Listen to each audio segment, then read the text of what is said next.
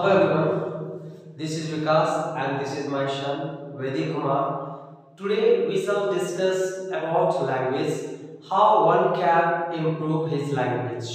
हम बातें करेंगे भाषा पे कि इंसान भाषा का विकास और इंसान में भाषा का विकास कैसे होता है दरअसल मैं बातें करूँगा बाद में कि लोग भाषा कैसे सीखते हैं परंतु मैं अभी कुछ इनसे आ, मैं आपको सुनाना चाहूँगा और मैं एक्चुअली यू नो हमारा जो लोकल लैंग्वेज है regional language that is Kota तो मैं I sir talk with him in Kota and आप खुद ही देखेंगे you will see it yourself whether he speaks Kota properly very well indeed और नॉट तो what is your name Vaidik Kumar okay what is your father's name father's name Vikas okay what's your mother name And village name? Khurjawa. Very nice. Okay. So, in which class do you read? Your school name? Class name? LKG nursery. Okay, चलो ठीक है. Did you eat food? Uh, did you eat food right now? Did you eat food?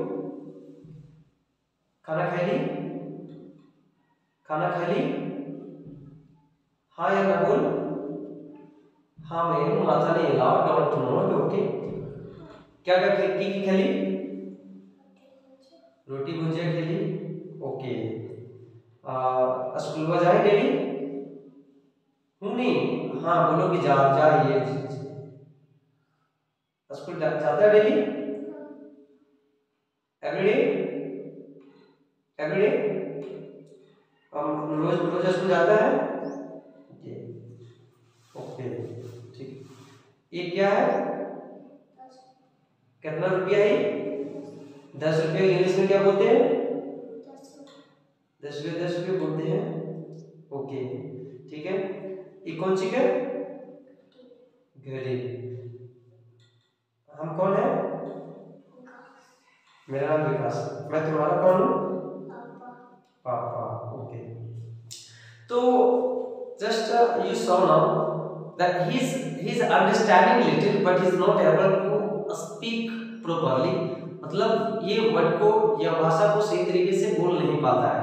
तो वजह क्या है बोलेगा? अगर मैं हिंदी की बात करूँ इंग्लिश की बात करूँ तो he can't understand so much why he can't understand so much because you know the informant the place where he lives you know is not able to hear english is not able to find man who can speak english uh, one who can speak in english and he can listen and can catch it तो ये depend करता है it depends on the informant it depends on the surrounding place where one is living जहाँ पे कोई रहता है जहाँ पे जो जैसा परिवेश में रहता है लोग वैसा ही भाषा को सीखता है। अगर हम अपने आप को फॉरेन कंट्री में अगर रखते हैं इफ़ इन फॉरेन कंट्री तो it is fact that we shall learn the language of that country if you go to Bengal and if you stay there for two three years और for so many months then definitely we can learn Bengali language if you stay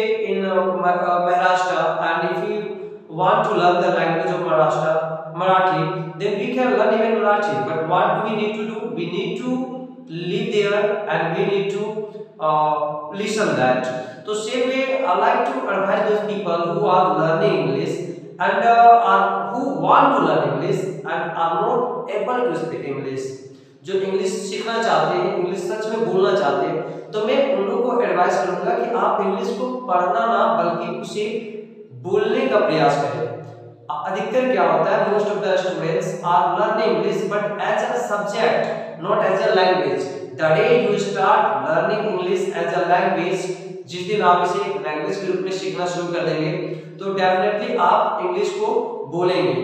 तो आप English को ज़्यादा पढ़ने पे ना, बल्कि ज़्यादा बोलने, सुनने, लिखने और बोलने का प्रयास करें। जितना आप बोलने और सुनने का प्रैक्टिस करेंगे, उतना ही आप सीखेंगे। क्योंकि भाषा का जहाँ तक मेरा विचार है so for as I am concern भाषा language is learn you know ज़्यादातर सुनने और बोलने से सीखा जाता है। पढ़ना तो अलग चीज़ हो गया पढ़ने से अगर हम, हमें इंग्लिश सीखना होता तो हम काफ़ी समय पहले इंग्लिश सीख चुके होते। जब हम चौथी क्लास में थे, जब हम लोग टेंथ क्लास में थे, हम उसी समय इंग्लिश सीखे होते। लेकिन इससे क्लियर है it is completely totally clear that we cannot learn any language by reading. We can learn any language only by listening or speaking. So this is my advice to all the english learners. Don't try to read english. On the contrary try to listen and speak english. Students who are going to classes who are going to spoken classes who are sitting in the class of spoken you must concentrate their mind on listening to the speaker. What the speaker is speaking what the teacher is speaking. He needs to focus on that totally. Then i'm sure he can learn english you know only in short time he will not take so many uh, you months or so much time. I'm sure he will learn english very soon.